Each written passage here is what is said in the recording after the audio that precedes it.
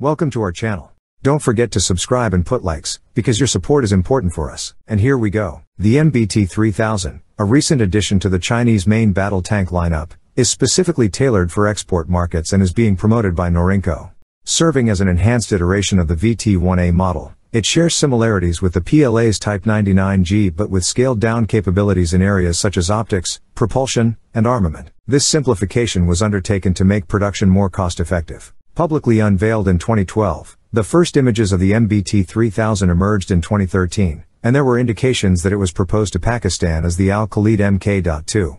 Thailand procured an initial batch of 28 VT4 tanks, another designation for the MBT 3000, in 2016, with deliveries slated for completion between 2016 and 2018. Future orders from Thailand could potentially increase to 150 units. The tank's design draws heavily from the Soviet T-72, a stalwart of the Cold War era, which China acquired from Romania in the 1980s and subsequently reverse engineered. Over the years, the MBT 3000 has evolved through the integration of Soviet derived technologies and some Western design influences. While numerous improvements have been made over previous Chinese tank models, they haven't significantly enhanced the tank's overall performance. With a focus on proven technologies and cost effectiveness, the MBT 3000 is positioned as an attractive option for developing nations seeking to modernize their armored fleets. It represents a more advanced and pricier alternative to the VT 2, another Chinese export tank, albeit falling short of contemporary Western MBTs in capabilities. Featuring a low silhouette akin to the T 72,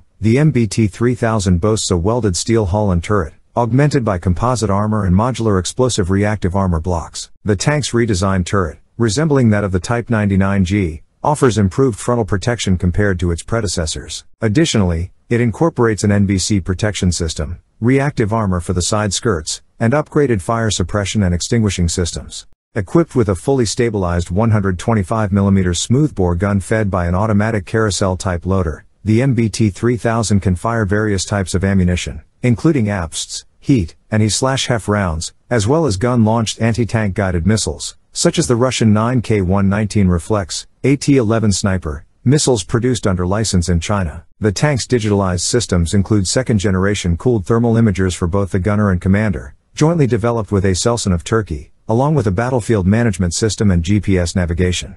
Powered by an indigenous turbocharged diesel engine generating 1,300 horsepower, the MBT 3000 offers robust performance, with potential upgrades rumored to include a more potent 1500 horsepower engine. Variants of the MBT 3000, such as the VT4 exported to Thailand, further extend its reach in international markets, with potential orders indicating strong demand for this modern armored platform. That's all for now. See you later.